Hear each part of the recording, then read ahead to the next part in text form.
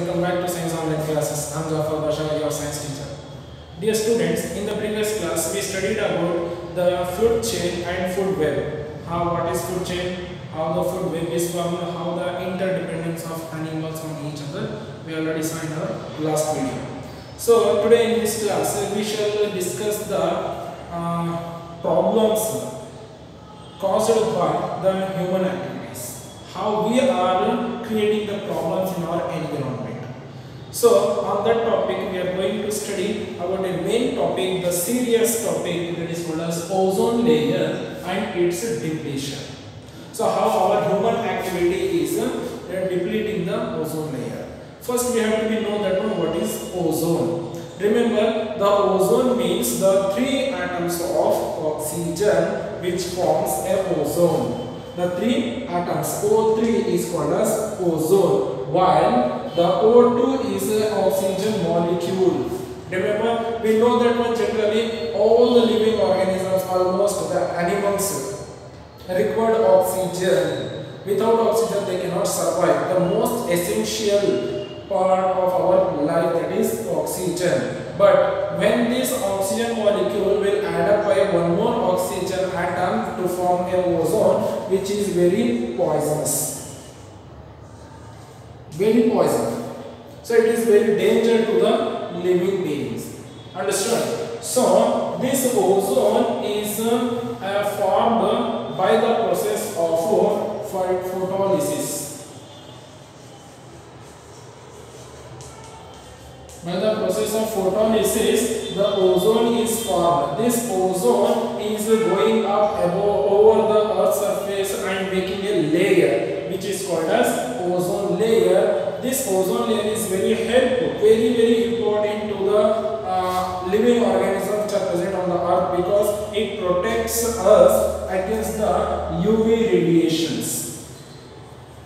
So UV means ultraviolet rays which are very dangerous to the living organisms. They can destroy everything on the earth. Understand? So let me uh, study the ozone layer, formation of ozone layer, the depletion of ozone effects of depletion of ozone layer all in details with that PPT video. Okay. The formation of ozone. Ozone is colorless gas found in the upper atmosphere of the earth. It is formed when oxygen molecules absorb ultraviolet photons and undergoes a chemical reaction known as photolysis. Ozone molecules absorb UV rays between 310 to 200 nanometer wavelength and prevent these harmful radiations from entering the Earth's atmosphere you can see that ultraviolet rays are of different types UVC, UVB and UVA on different different wavelength the ultraviolets are dividing. So these ultraviolet radiations are very dangerous.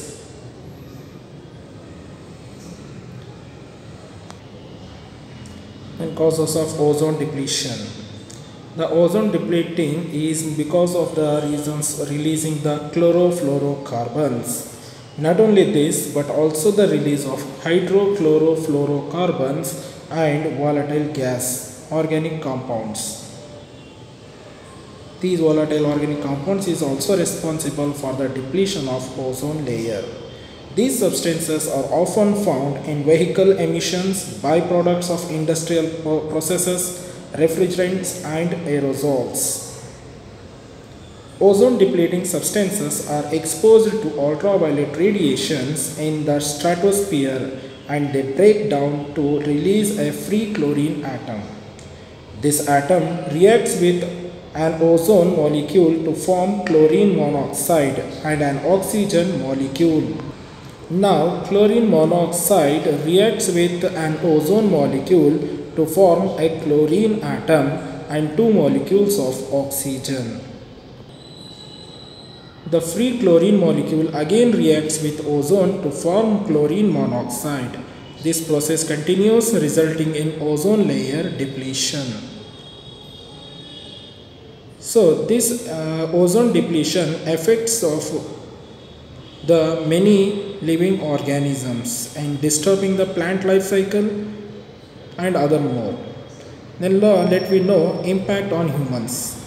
Exposure to ultraviolet rays possesses an increased risk of developing several types of skin cancers including malignant, melanoma and basal and squamous cell carcinoma. Direct exposure to ultraviolet radiations can result in photokeratitis that is snow blindness and cataracts. Increased exposure to these rays weakens the response of the immune system. Ozone chemicals can cause difficulty in breathing, chest pain, throat irritation and hamper lung functioning. Effects on amphibians and marine life for those who are present in water bodies. Ozone depletion is one of the leading causes of the decline of amphibian species. Some species have become more vulnerable to diseases and death. Retinal damage and blindness is also observed in amphibians. Not only this, it uh, the UV radiations is very harmful. It can decrease the dissolved oxygen into the water which uh, harm to the aquatic animals. The aquatic animals facing the deficiency of uh, dis dissolved oxygen into the water and results they are died. Now let's see impact on plants. In some species of plants, this radiation can alter the time of flowering as well as the number of flowers produced by a plant. Plant growth can be directly affected by this radiation, causing plant diseases. This affects the animal that feed on these plants, disturbing the environmental balance.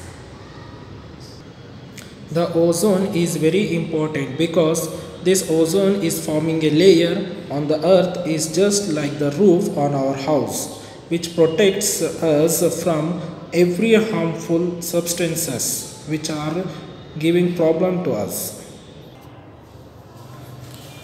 So you saw that one how the ozone layer is forming and how the ozone depletion takes place due to the human activities. So to protect our ozone layer which is the roof of our earth, so what can we do? We have to be minimize or reduce the release of chlorofluorocarbons, hydrochlorofluorocarbons, so many things which are damaging the ozone layer.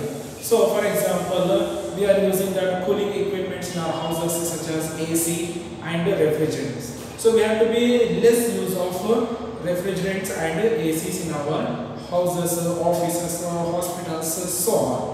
So we have to be minimize this. And not only this, we have to be uh, reduce the emission of smoke from our vehicles. It means we have to be use less number of vehicles for our transporting and traveling purposes. So if we are reducing all these things, uh, we can protect or we can manage the ozone layer because already in the early 1980s we found that one the depletion there is a hole created into the ozone layer. So so many scientists are working on that one to overcome from this problem. But as a citizens, as a human being, we have to be take the responsibility to protect the natural resources, natural environment by our own activities. We have to be reduce our activities so that the environment can be protected.